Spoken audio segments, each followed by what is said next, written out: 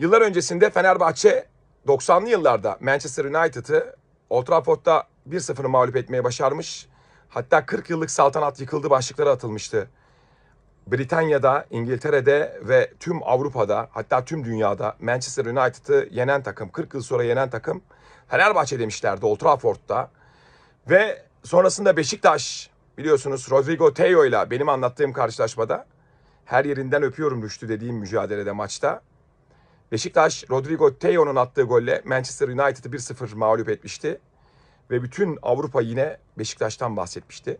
Şimdi sıra Muslera'da, şimdi sıra Icardi'de, şimdi sıra Galatasaray'da. Neden olmasın? Önce Fenerbahçe, sonra Beşiktaş. Sıra sende Galatasaray.